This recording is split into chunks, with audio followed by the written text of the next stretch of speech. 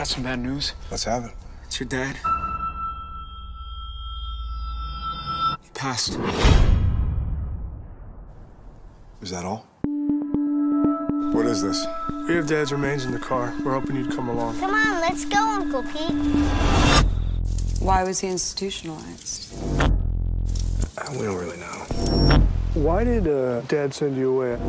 Emotional problems. By the time he got back, he was just never really himself again.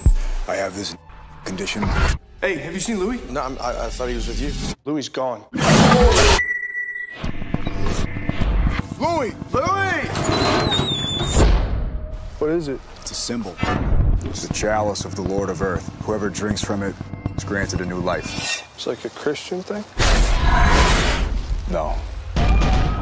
How do you know about this stuff?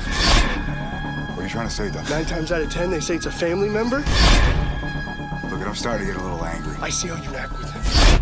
May the fires of hell burn inside him and give him strength. This is his commencement. Tonight you will witness the dark passage. We summon the great Leviathan within this child. If you want to stay here and waste time, hey! that's fine, all right? Go look for him. You motherfucker. Where's my boy? Is that who you think I am?